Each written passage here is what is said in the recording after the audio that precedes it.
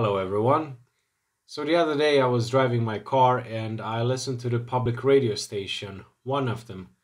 In Sweden we all have to pay for the public radio and public service. So yeah, I'm not a big fan, but hey, give it a shot.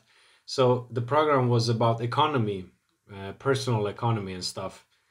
And uh, they talked about um, insurance for children.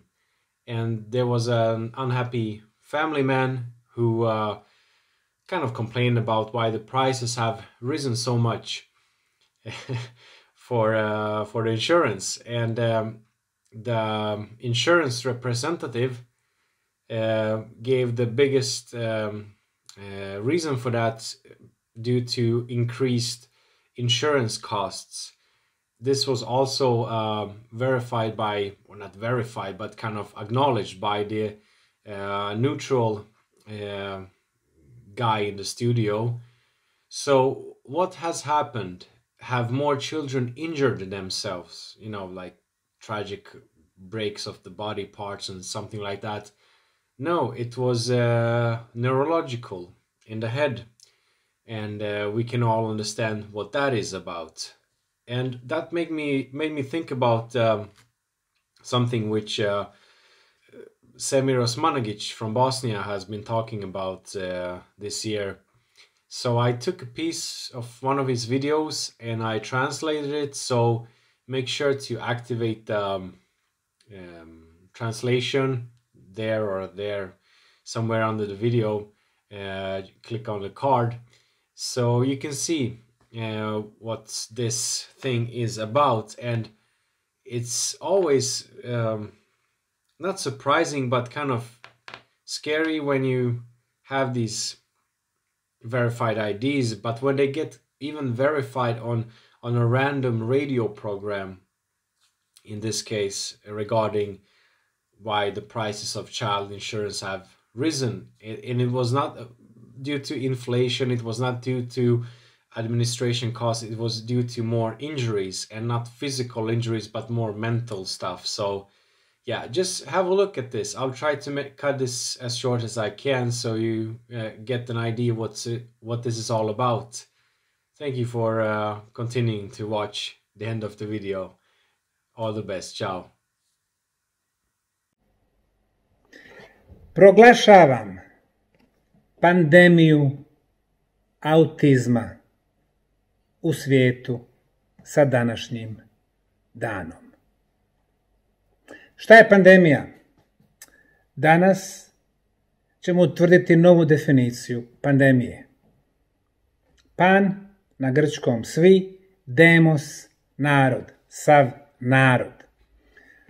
Nova definicija pandemije će označiti broj 1 bolest koja se širi, broj 2 bolest koja je uzrokovana beskrupuloznošću, egoizmom i malicioznošću elita. Broj 3. Bolest je uperena protiv većine čovečanstva na više ili na svim kontinentima. Broj 4. Ona nosi milionske žrtve sa sobom i broj pet izlječiva je. Zbog čega je na prvom mjestu pandemija autizma? 1975. godine jedno dijete od 5000 djece imalo je autizam. To je u procentima 0,0 2%. Samo sedam godina kasnije broj autističke djece se udvostručio. 1982. jedno dijete na 2500 djece imalo je autizam. Ovo su podaci za Sjedinjene američke države, koja uredno vodi evidenciju o autističkoj djeci. 1994. godine jedno dijete od 500 djece ima autizam. 2000. godine jedno dijete od 166 djece ima autizam uzrokujući bol, brigu i njegu svojim roditeljima. 2004. godine jedno dijete od 150. Prema podacima danas razvikanog Centra za kontrolu i suzbijanje bolesti iz Washingtona, CDC-a, ove 2020. godine